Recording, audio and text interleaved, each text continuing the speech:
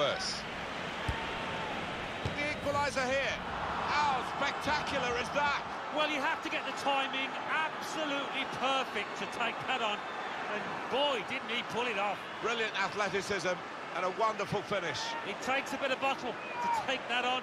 He showed plenty.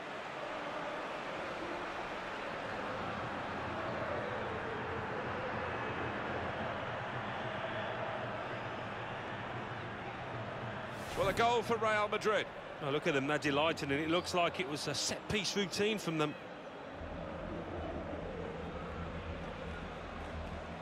Well, let's take another look at the goal. You can't blame him. The manager is delighted with the character his team has shown to get back into this game.